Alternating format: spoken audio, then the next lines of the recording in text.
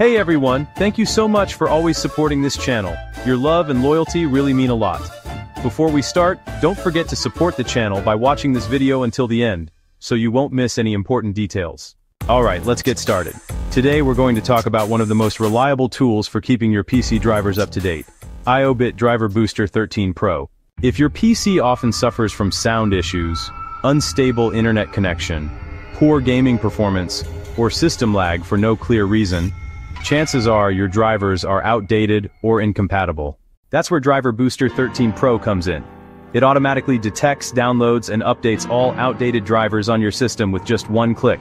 This latest version comes with several powerful improvements, a larger driver database, now supports over 9 million drivers, 30% faster download speed, saves your time during updates, game booster mode, optimizes your PC performance for smoother gameplay, auto backup and restore. Safely roll back to older drivers if something goes wrong, and a clean and modern user interface, making the experience smoother and more intuitive. One of my favorite features is the Auto Driver Update. You can set it to automatically update all essential drivers when your PC is idle. No manual clicks needed. Super convenient for busy users.